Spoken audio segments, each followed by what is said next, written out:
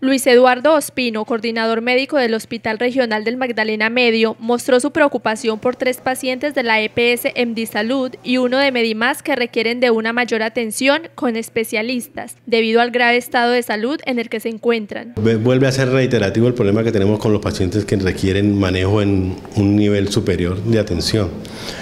Eh, específicamente tenemos tres casos de la EPS MD Salud y un caso de Medimás.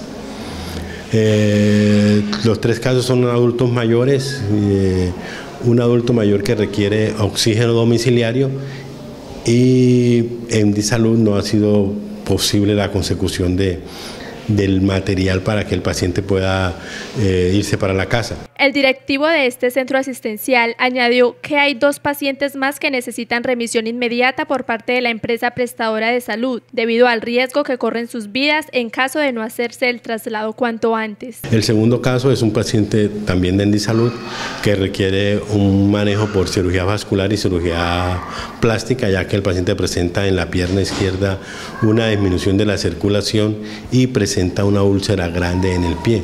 El peligro de este paciente es que pueda perder la extremidad. Enlace Noticias dialogó con la hija de una de las pacientes que se encuentra en grave estado de salud en el hospital regional, quien mostró su angustia por el estado en el que se encuentra su pariente. Aquí nos han atendido bien, pero no tienen los equipos realmente necesarios para lo que mi mamá necesita. Y eh, varias veces hemos ido a Medimás y dicen que no, que esa solución la tenemos, que, que lo tienen que dar los médicos de acá, porque ellos saben qué clínicas en Bucaramanga son las que tienen el equipo de toras. Y los de aquí también dicen que tiene que ser Medimás, que tiene que autorizar, que yo creo que debe ser Medimás, que tiene que autorizar. Este es el panorama que a diario se ve en el Hospital Regional del Magdalena Medio. Familias angustiadas y pacientes que en medio del dolor de sus malestares esperan con urgencia un traslado.